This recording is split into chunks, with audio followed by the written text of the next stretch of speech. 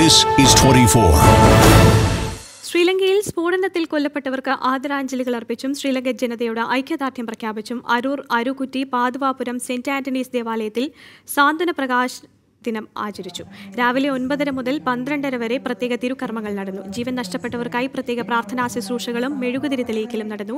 ജില്ലാ collector S Suhas Kottoor പള്ളി ഇമാം അബ്ദുൾ റഹ്മാൻ ഫൈസി മാത്താനം തന്ത്രി Ashokan A M Arif M L M L A Congress നേതാവ് Shanimol Usman B J P നേതാവ് കെ എസ് രാധാകൃഷ്ണൻ മുസ്ലിം ലീഗ് അരൂർ മണ്ഡലം നേതാവ് ഫസൽ യോഗാചാര്യൻ ജോസ് ജേക്കബ് തുടങ്ങിയവർ ചടങ്ങിൽ പങ്കെടുത്തു.